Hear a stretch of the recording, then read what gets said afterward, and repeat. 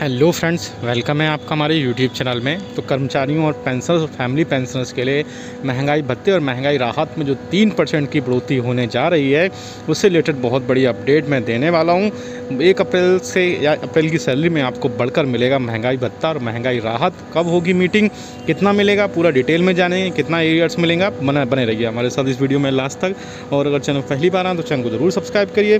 साथ ही साथ आप हमारी वीडियोज़ की लेटेस्ट नोटिफिकेशन के लिए घंटे के निशान को ज़रूर प्रेस करिए, तभी आपके पास हमारी वीडियोस की लेटेस्ट नोटिफिकेशन आ पाएगी और आप हमारी वीडियोस को कंटिन्यू आगे इसी तरीके से वॉच कर पाएँगे। जैसा कि आप सभी को बताया कि तीन परसेंट महँगाई, भत्ते और महँगाई राहत की अनाउंसमेंट सरकार की तरफ़ से होनी है। हालाँकि all India consumer price index के जो आंकड़े हैं जो कि ministry of labour and employment के श्रम ब्यूरो शिमला की तरफ़ से जारी किए गए थे। वो फरवरी मंथ में कंप्लीट हो गए थे। यानी फरवरी मंथ में, जनवरी मंथ की जो all India consumer price index के डेटा है, वो आ गया था तो उसी के बेसिस पर उसमें तीन परसेंट की बढ़ोतरी होनी थी। लेकिन तीन परसेंट बढ़ोतरी नहीं हो पाई ड्यू टू ऑफिशियल अनाउंसमेंट अभी तक ऑफिशियल अनाउंसमेंट नहीं की गई है। उसके चलते जैसे इसकी ऑफिशियल अनाउंसमेंट हो जाएगी तो आपको जो है महँगाई भत्ता और महँगाई राहत तीन परसेंट में जो बढ़ोतरी हुई है, वो आपको प्रोवाइड करा दिया जाएगा।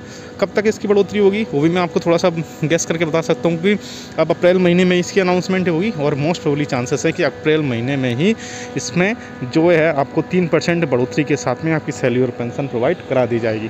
तो अप्रैल महीने में इसकी प्रोवाइड तीन परसेंट बढ़ोतरी होने के साथ आपको सैलरी और पेंशन प्रोवाइड कराएगी, करा दी जाएगी। इसके अलावा कितना परसेंट बढ़ेगा? तो बता दूँ पहले हम कर्मचारियों की बात करते हैं। जिन भी कर्मचारियों को बेसिक सैलरी अठारह हज़ार रुपये तो कम से कम सात सौ से आठ सौ रुपये आपकी सैलरी में बढ़ेंगे। साथ ही साथ जिस हिसाब से आपका ग्रेड पे और लेवल होगा उसी हिसाब से आपके महँगाई भत्ता में बढ़ोतरी होगी। हम बात करते हैं पेंशनर्स की।